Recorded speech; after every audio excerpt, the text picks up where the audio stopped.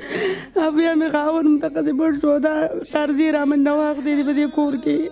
او یو راځي وایي ته مېړه وکړه بل وایي ته مېړه وکړه زه هم زه دې ماشومانه نه څنګه مېړه وکړم سرې جهالت پاتې شو دي دوی ته ناست یم یو ځای له غواړم بل ځای غواړم په کله وایي پیسار نشته کله وایي زړه کې زمونږ نشته کله وایي زمونږ خرچه نشته کله وایي مونږ له پیسې رانه زه هم زه څه وکړم چې سره سره نشته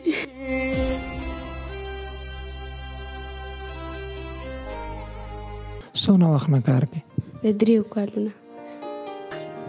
ژوند څنګه تیریږي په هغه کور کې دلته زندگی څنګه روانه ده بچو ډیر په سخت روانه ده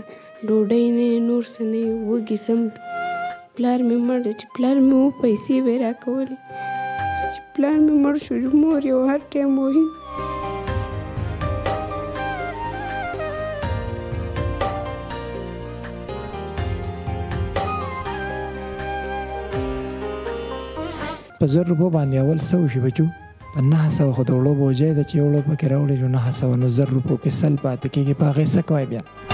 باغي اریمن مالګه سوډا راکړو